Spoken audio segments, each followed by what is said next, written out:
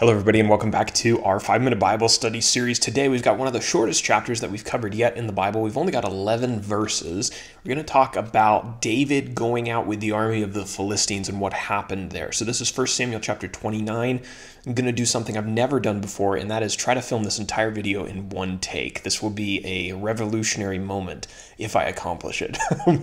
we'll see how it goes and how messy it is, but I've never actually done it. If you want the PDF that's on the screen right now, you can download it on our website. So let's go ahead and get into our first section.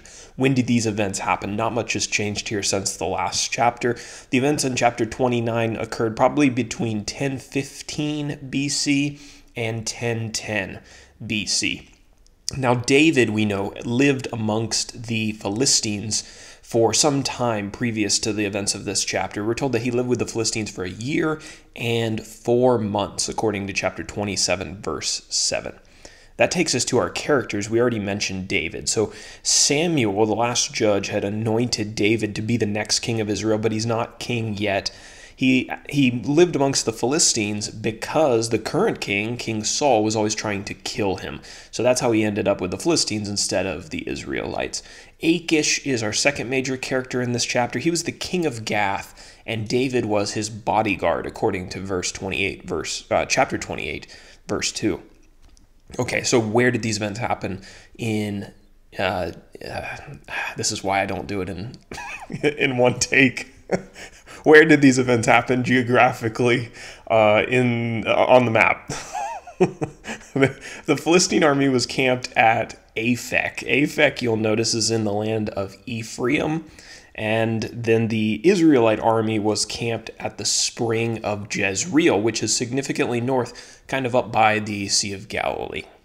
All right, that's our first page. Now, moving on to our second page for our outline section. I've got two sections, even though the chapter is pretty short, just to break it down a little bit. Verses 1 through 5, the Philistines dismiss David from their army.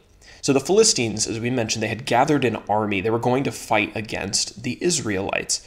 And when Achish's company passed by the lords of the Philistines, the lords of the Philistines took notice of David and the, the men that were with him because they weren't Philistines, they were Hebrews, and something evidently made them stand out. They asked Achish, quote, What are these Hebrews doing here? And Achish informed them that the, the Hebrews were led by David, who had previously deserted to him from Israel and ever since that time had been a, a loyal servant of his. Well, the lords of the Philistines had heard of David, as you might imagine. He had fought them in the past and had won great victories. They knew how the Israelites sang about David. He's killed his, uh, Saul has killed his thousands, David has killed his 10,000. So they had heard that he was a fierce warrior for Israel in the past, and they didn't want David fighting alongside them because they figured, you know, if he was going to try to win favor with the Israelites again and go back to his home country, what better way than to turn on them during the battle? So that's section one. Now, verses 6 through 11, we will finish off the chapter. Achish sends David home. Achish went to David. He told him the news of what the lords of the Philistines had said, and he acknowledged that David had always been loyal to him. He had no reason to distrust him, but that he would need to return home to Ziklag because the Philistines didn't want to fight with him. So in the morning, David headed south to Ziklag, and the Philistine army moved north to Jezreel to this battle, which we'll talk about in the, the upcoming chapters. All right, that is 1 Samuel chapter 29. One more section to go here. Let's talk about our application. Rejection can sometimes be a gift from God. David was ready to fight a lo- uh, fight against Saul and against the people of God until the Philistine lords turned him away and sent him home.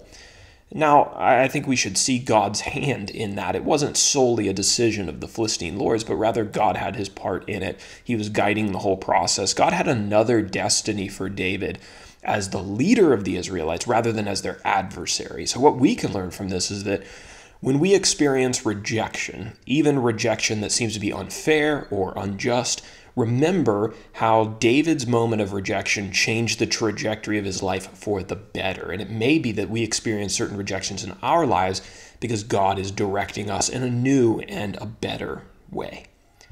So there we go. We did it uh, in one take. Hopefully the audio is all right, and I don't think it was too terrible. Thanks for joining us. Join us again tomorrow, Lord willing, for 1 Samuel chapter 30, the second to last chapter in the book.